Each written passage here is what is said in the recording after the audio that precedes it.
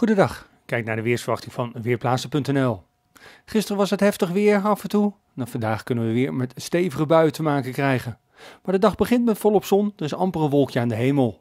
In de loop van de ochtend ontstaan er stapelwolken en vanaf een uur of 10 à 11 kan in het westen de eerste bui vallen. Het waait stevig, aan zee 11 windkracht 6, temperaturen vanochtend een graad of 11.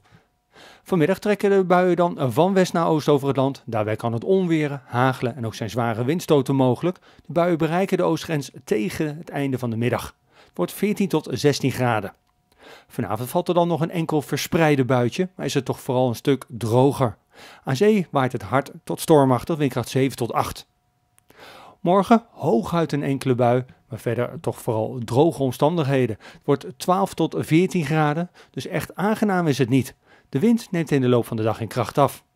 Ook vrijdag kan lokaal nog een buitje vallen, maar op de meeste plaatsen is het dan droog en de zon laat zich ook geregeld zien. Temperaturen lopen op, in het zuiden wordt het 19, misschien 20 graden. In het weekend halen we die waarden niet, maar vooral zaterdag valt er wel smiddags enige tijd regen. Ik ben Michiel Severin van Weerplaza.nl